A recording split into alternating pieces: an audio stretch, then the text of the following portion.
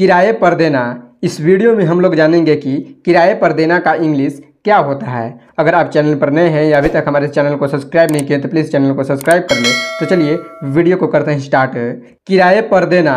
किराए पर देना को इंग्लिश में क्या कहते हैं? आंसर किराए पर देना को इंग्लिश में गिव ऑन रेंट कहते हैं। हमें उम्मीद है कि आपको यह जानकारी अच्छा लगा होगा। अगर आपको जानकारी अच्छा लगा हो तो प्लीज़ वीडियो को लाइक करें चैनल को सब्सक्राइब करके बेल आइकन को प्रेस कर ले। तो बस आज की वीडियो में इतना ही। Thanks for watching